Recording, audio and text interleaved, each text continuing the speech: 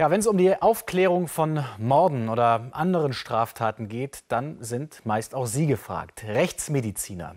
Allerdings, äh, schätzen Experten, bleiben in Deutschland jedes Jahr hunderte Tötungsdelikte unentdeckt. Unter anderem wegen der steigenden Arbeitsbelastung von Gerichtsmedizinern. Weshalb die sächsische Linke nun fordert, das Budget für die beiden rechtsmedizinischen Institute im Freistaat zu erhöhen.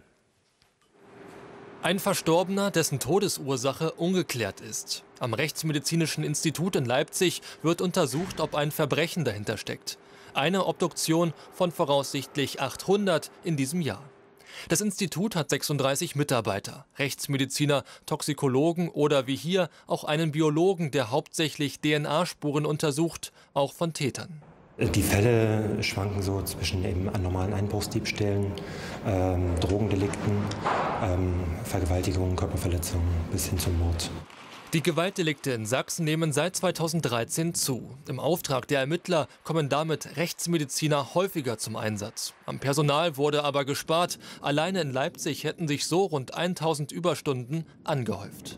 Das ist ein Zustand, der auf Dauer äh, aus meiner Sicht äh, ja, zur Überlastung der Mitarbeiter führt, aber natürlich auch äh, ein Problem in der Rechtssicherheit darstellen kann.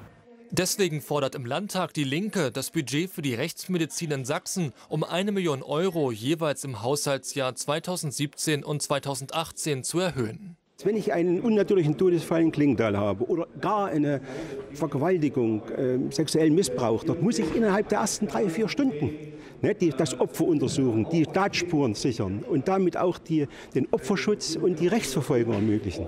Bevor der aus Leipzig ran ist, sind die Messen gelesen.